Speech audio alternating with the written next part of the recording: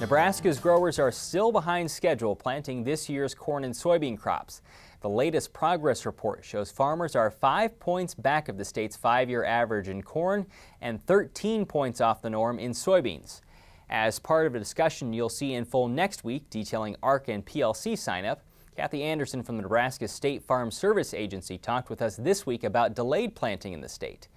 Cathy said it's important for producers to file acreage reports every year, not only for eligibility and commodity programs, but also to establish cropping histories.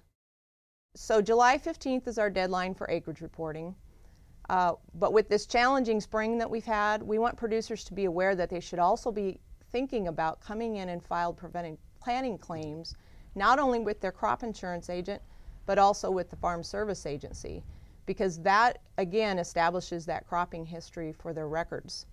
Um, additionally, if they've got a crop planted, but it was affected by some type of natural disaster and failed, uh, particularly if they are going to dispose of the crop or put those acres to another use, again, we want them to come in and file those claims for the failed crop. In the case of preventive planting acres, they do need to come in within 15 days of the final planting date, and for corn, that date's moving up forward for us. That would put us at June 9th.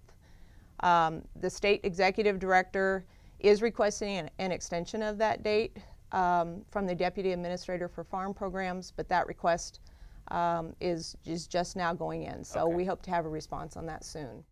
We'll have more with Cathy next week. As mentioned, farmers need to notify the FSA of crop failure or prevented planting within 15 calendar days of the final planting date. You can contact your local FSA office for more information.